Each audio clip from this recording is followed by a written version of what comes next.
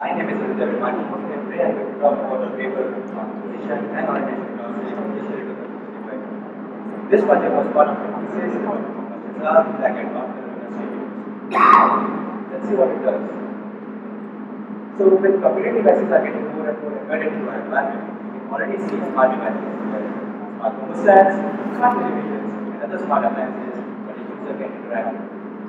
Just as clear from a very natural medium of communication smart appliances and the user. We can already see that existing products in the market such as Motion, which can create a 3D model of a hand motion without requiring the user to actually get the physical touch of the device. Now researchers are trying to explore various modalities that can make device gesture recognition. That is, the user should not require to wear any wearable devices. Wi-Fi is one such modality which offers a very easy to deploy and a low cost setup requiring just two common devices. One, a laptop, which can act as a smart receiver, and the other, a router, which can act as a transmitter. Now, the signal going from the router to the receiver gets affected because of the user's motion.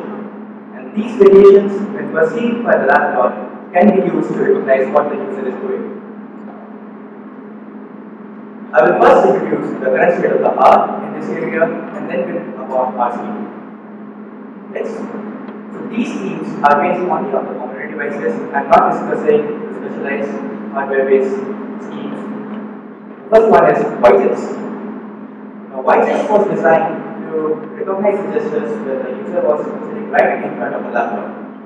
So let's say the laptop is right in front of me and I make some simple gestures, the laptop can perceive these variations and can perform the required actions. Next comes white here. WiHear went a step ahead and it could even recognize the predefined spoken words, right? Just using the wireless signals. CARM on the other hand was able to recognize human activities such as brushing of teeth, loading and the washing machine, etc. WiDraw would recognize in-air hand motions. For example, if I draw an alphabet in the air, the system can recognize that and take it as a thing. While these binary schemes work great in the systems they have been designed for, we believe the next step in making these schemes more practical and more viable is to make them independent of the position and the orientation of the user. Now, by position, I mean where I am located. Like this is one position, and this is another position. And orientation means the direction in which I face while performing the gesture. So where does this dependency? Let's take a case of a very simple push gesture. This figure here shows the real sample in two scenarios. First, we have when the user is facing towards the Wi-Fi receiver. Here we can see that if I'm standing facing towards the Wi-Fi receiver and I push my hand forward, what I'm actually doing is reducing the distance between my hand and the Wi-Fi receiver. Consequently, the animation decreases and the amplitude increases as the gesture progresses. But on the other hand, when I'm facing away from the Wi-Fi receiver, the amplitude constantly decreases.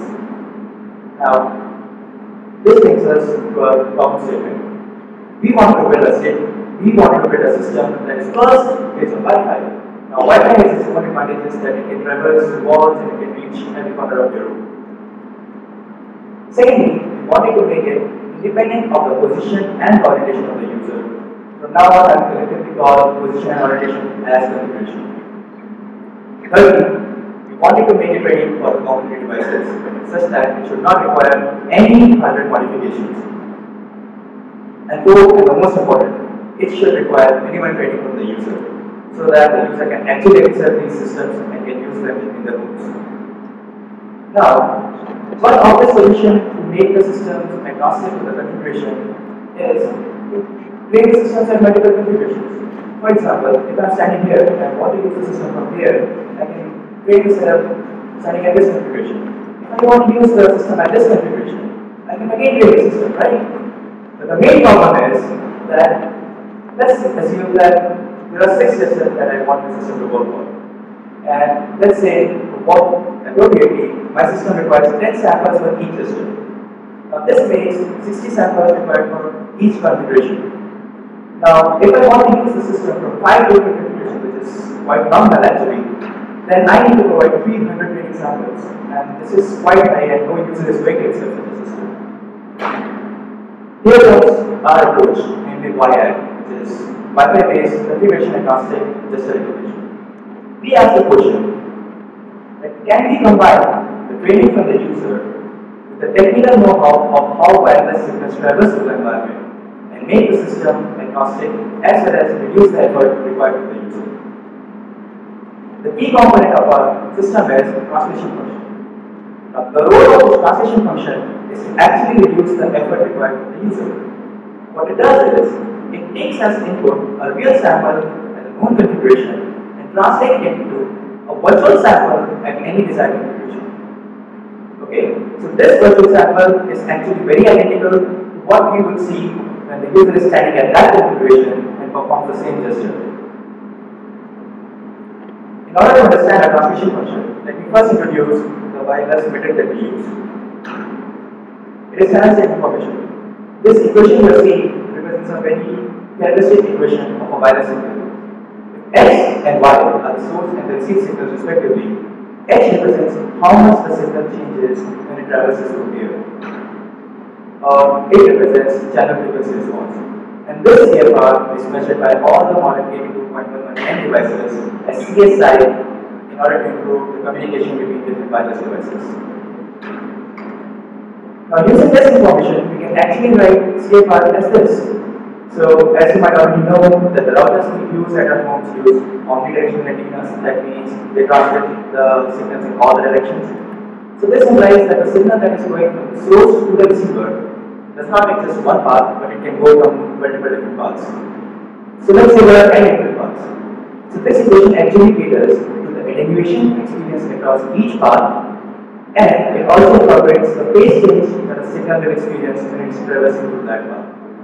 Now this seems like a very simplified model, but this actually proves to be sufficient for our case of translation function. Let us see how. In order to create a model, let us first start with a very simple single point traversal.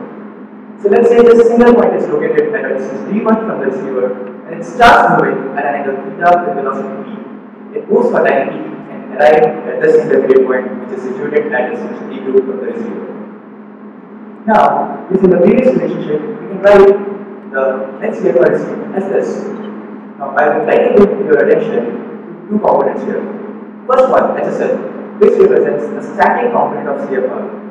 Now, this component belongs to those parts that do not get affected because of user's motion. Such as, so there can be a path that is going from the source to the receiver. Now, if I am not a part of it, it won't get affected and the CFR remains constant. Another thing, so we have written this equation only in terms of original parameters which are d1 and theta. Now this does not get affected until unless I am changing my configuration. Now this is a very simple case when there is a single point object traversing. However, when we perform the gesture, like we raise the arm, so we are actually exposing my whole arm. Right? So in that case, we can simply integrate over the right hand side term and we get this but this equation represents the CFR received at any point of time. But we don't need that. What we need is what is the impact of gesture on this CFR. In order to calculate that, we just differentiate the signal. Now, this differentiation helps in one key thing. It gets rid of HSL. Since it's a constant, when we differentiate with respect to time, it gets eliminated. Now, this differentiation helps us with recognizing the gesture, detecting the gesture, and move forward the recognition process. So this brings us to our goal. So we are trying to get a transformation that we can apply to a real sample that is VFD at a configuration A and translate it to any other configuration that is B and obtain a virtual sample VFD. Writing the situation again, and just writing the amplitude part here, we can see that it's only the denominator that depends on the configuration, that is d1 and theta, while the numerator remains constant. So what we can do is, we can take the denominator to the left hand side and equate the constant factors and two different configurations. This is what we get. Now this equation states that if we know the real sample VFD at A, and we know the parameters of that configuration, that is dA and theta A, we can translate it to any configuration B which has parameters dB and theta Now this look like a very simplified case, so actually it is, it is just showing the linear gestures, but in the paper we have actually simulated to non-linear gestures such as circle, throw and other complicated gestures. I would like to refer our industry readers to refer to it for more details. Now I will present a brief overview of how WiAG works. It starts with the raw CSI data. It obviously conditions it for further processing. Now when it is processing, it is actually cleaning the data of any noise. Here we use PCA-based denoising scheme as proposed in CARM for denoising the data. Next, we use amplitude-based thresholding to detect the gesture and move it for further processing. Now, in order to use a translation function, we need the configuration. So we also provide a method to automatically estimate the configuration where the user is in. And we do that by asking the user to perform a simple preamble gesture so that we can get this configuration. Now, once we have the configuration, use the existing training data that we obtain at a known configuration combine it with a translation block to achieve the virtual samples which can directly fed to the classifier training to obtain a classification model. So when a new test sample comes, this classification model can be used to recognize the gesture. Now let's see how a scheme performs in real world scenarios. First, I'll describe the evaluation setup we have. Our evaluation setup was quite basic. So we had uh, IBM Impact as a receiver.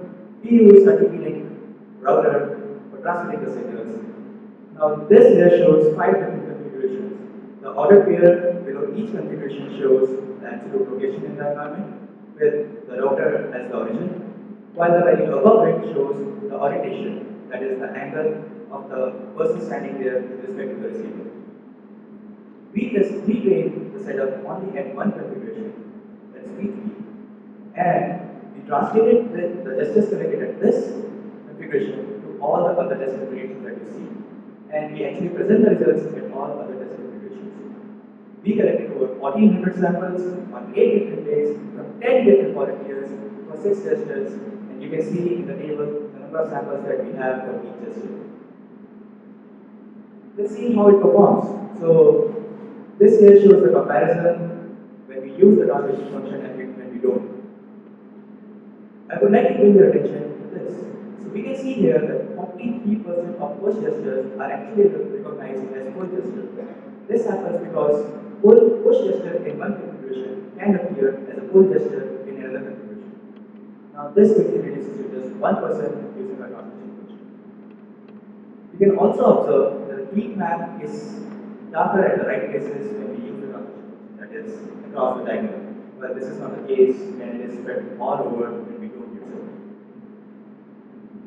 This figure here shows the comparison of individual accuracies across all the test configurations.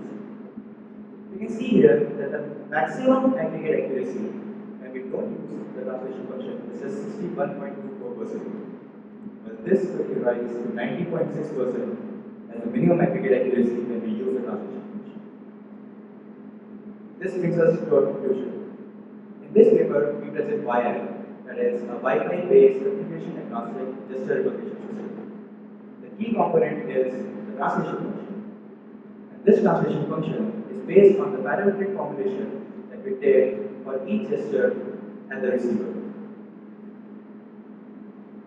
And most importantly, we implemented this system common devices such as the commercially available laptops and the router, and we did not make any hardware modifications to any of these devices. We envision that by will further research and bring these systems more close and more practical to our needs.